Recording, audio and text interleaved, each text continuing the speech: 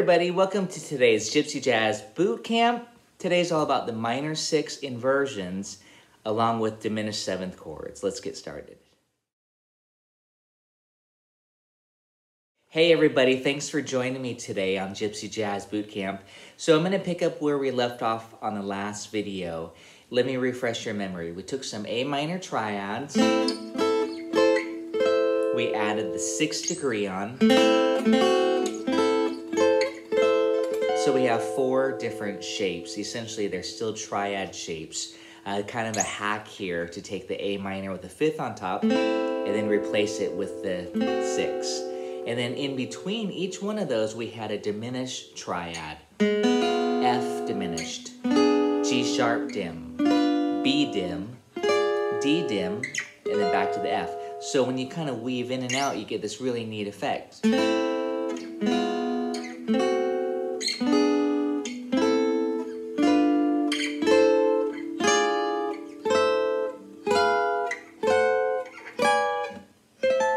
And you can use that on the five chord.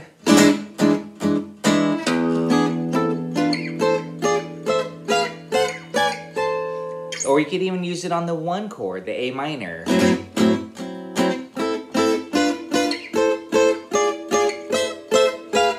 You could even use it on the one chord, the A minor.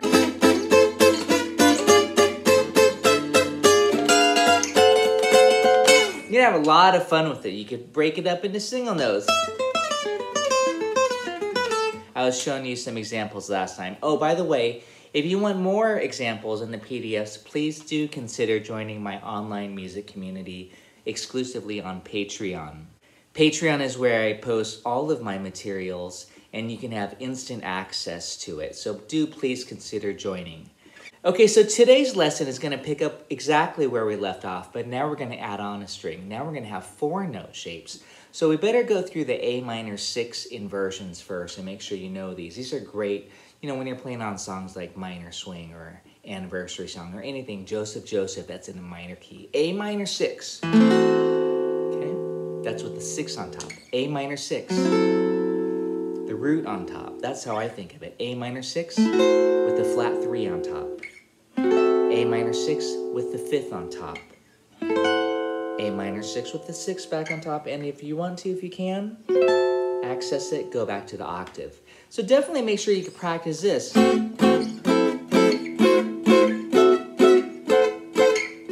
Just going up, you know, put on an A minor 6 backing track.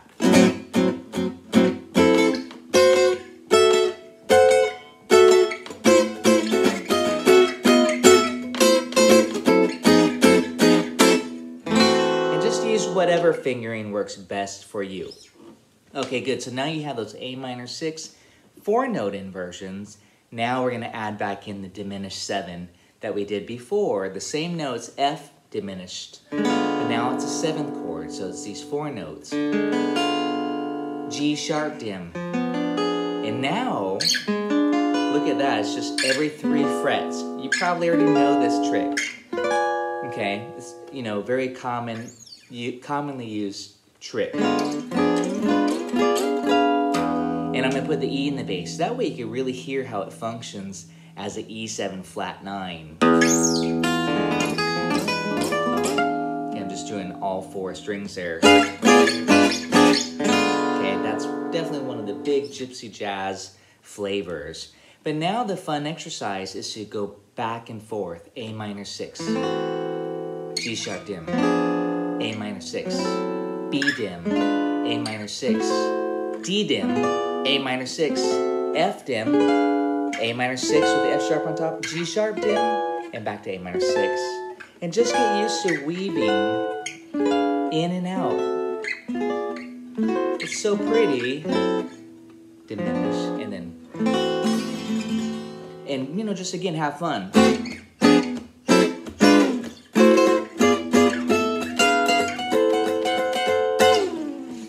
Lot of fun. Okay, you go up and down, and again, that can be used all on the E.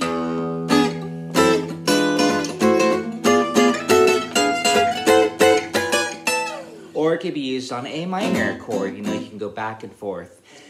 Hey, I hope you enjoyed today's quick mini lesson. Please join me for the next lesson where we're going to take the same concept and we're going to break it up, these chords going up the scale, into arpeggios. Django used it quite a bit. It's very, very pretty, and we're just going to basically walk right up the chord and then demonstrate how to extract these arpeggio shapes. Also, please consider joining my Patreon page for my online music community. It'd be great to have you, and you can have access to all of my materials. We'll see you guys next time.